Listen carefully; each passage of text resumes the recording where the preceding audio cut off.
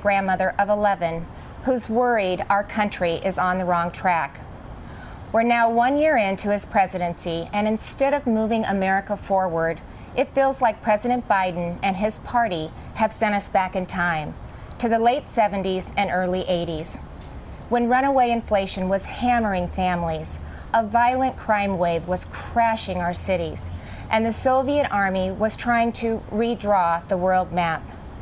Even before taking the oath of office, the president told us that he wanted to, quote, make America respected around the world again and to unite us here at home.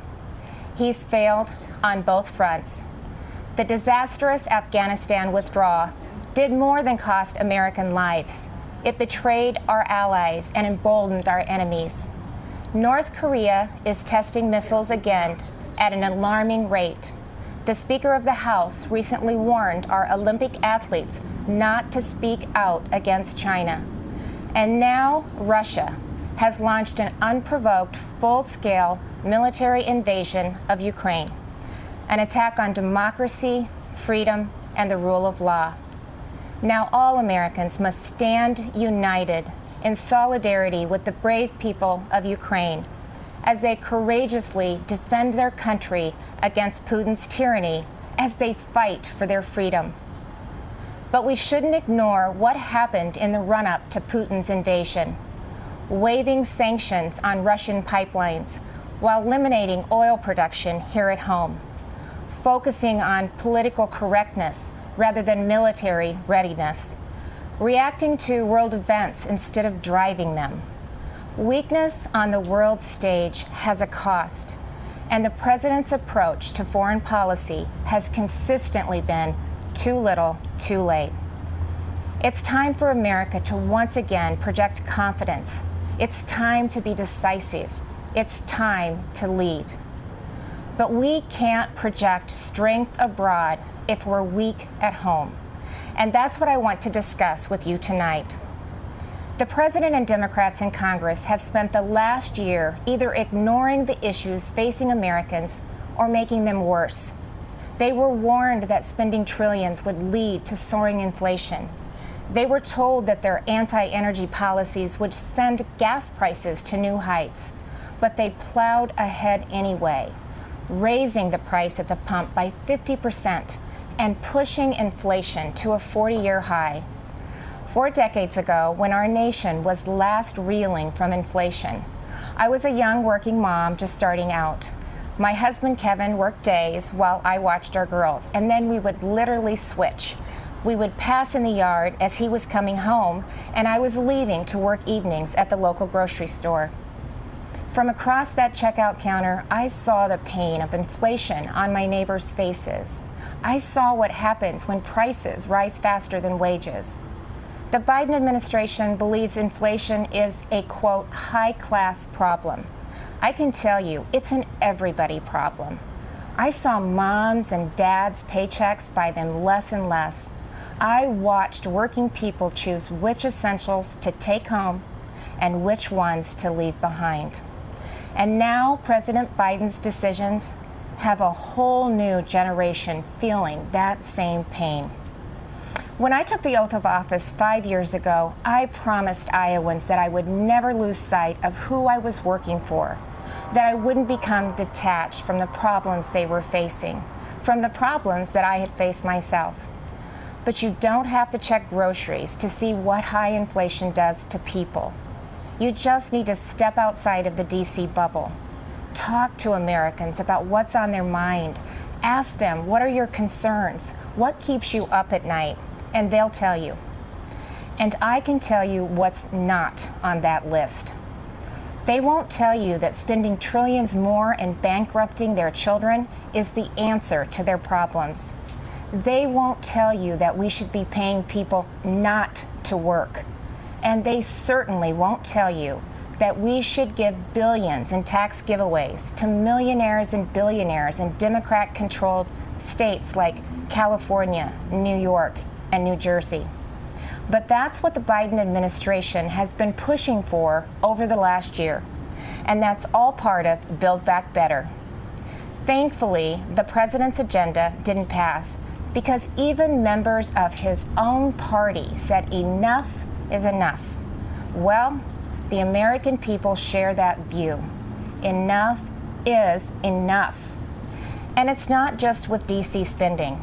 Americans are tired of a political class trying to remake this country into a place where an elite few tell everyone else what they can and cannot say, what they can and cannot believe. They're tired of people pretending the way to end racism is by categorizing everybody by their race.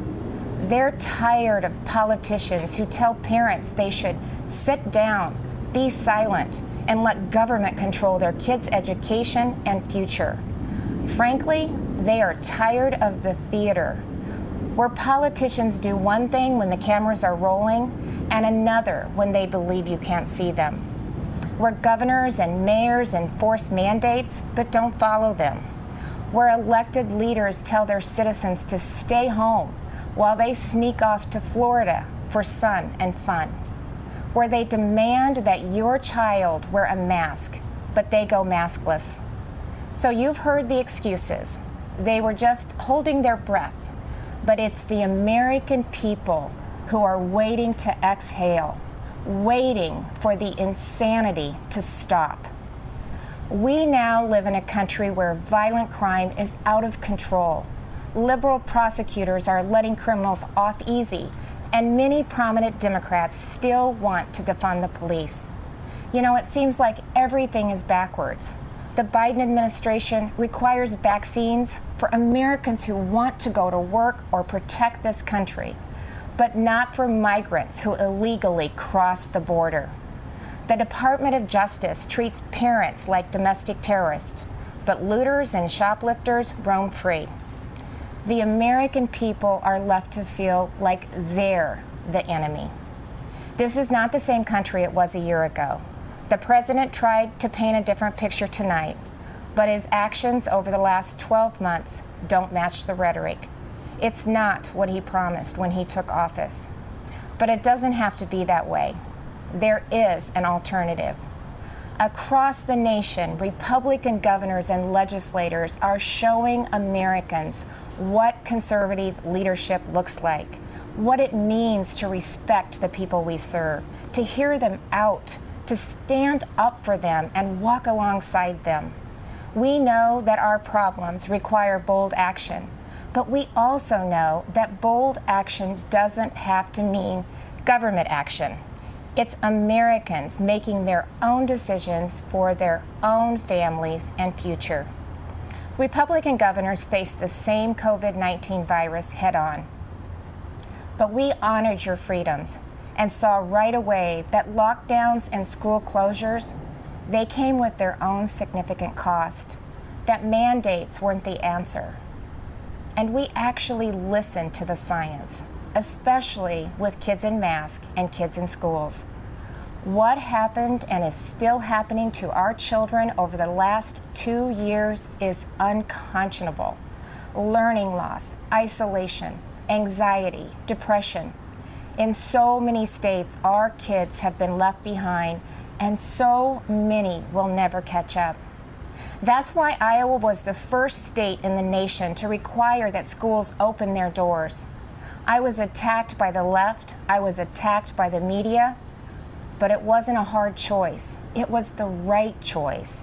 And keeping schools open is only the start of the pro parent, pro family revolution that Republicans are leading in Iowa and states across this country. Republicans believe that parents matter.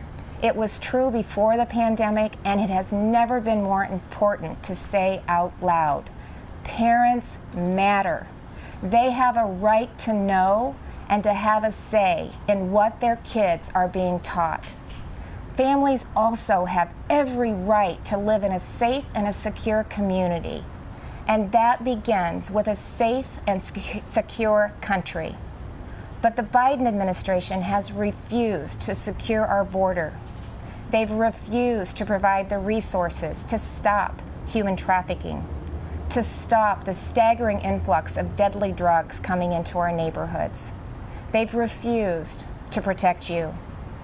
With Texas and Arizona leading the way, I, along with Republican governors from several states, have sent resources to the border. And we've actually gone to the border, something that our president and vice president have yet to do since taking office. On the economy, the contrast couldn't be more stark. While Democrats in D.C. are spending trillions, sending inflation soaring, Republican leaders around the country are balancing budgets and cutting taxes because we know that money spent on Main Street is better than money spent on bureaucracy. Today, I signed legislation that eliminates Iowa's tax on retirement income and sets our tax rate at 3.9%. That's less than half of what it was just four years ago. And it shouldn't come as a surprise that out of the top 20 states with the lowest unemployment rates, 17 have Republican governors. Republicans may not have the White House, but we're doing what we can to fill the leadership vacuum. And on the issues that are affecting Americans, Republicans are leading. We're standing up for parents and kids. We're standing up for life. We're keeping our communities safe and thanking those in uniform. We're fighting to restore America's energy independence, and that includes biofuels. We're getting people back to work, not paying them to stay home. Most of all, we're respecting your freedom. Behind me stands Iowa's Capitol, where we display our state motto our liberties we prize and our rights we will maintain. And those aren't just empty words. It's a belief that the greatness of this state and this country lies in our people, not government. You shouldn't have to wake up every morning and worry about the next thing the government is going to do to you, your business, or your children. If we as elected leaders are doing our job, then the government is working well, but operating in the background. It's supporting the ingenuity and spirit of our people, not drowning them out. It's keeping them safe, not restricting their freedom. That's what I believe, that's what Republicans believe, and that's what Republicans are doing. I am so blessed to be the governor of Iowa, where people are humble, hardworking, and patriotic. We take care of each other. And yes, we are, as they say, Iowa nice. But you don't have to be from Iowa to see that those are the values of America at its best. All of America. Over the last few years, I've put my faith in Iowans, and they haven't let me down. I encourage this president to do the same to put his faith in you, the American people, who have never wavered in your belief in this country, regardless of who leads it. Because you know, you've shown that the soul of America isn't about who lives in the White House. It's men and women like you in every corner of this nation who are willing to step up and take responsibility for your communities, for your neighbors, and ultimately for yourselves. By that most important measure, at least, the state of our union is indeed strong. Thank you, God bless you, and God bless the United States of America. The Republican response from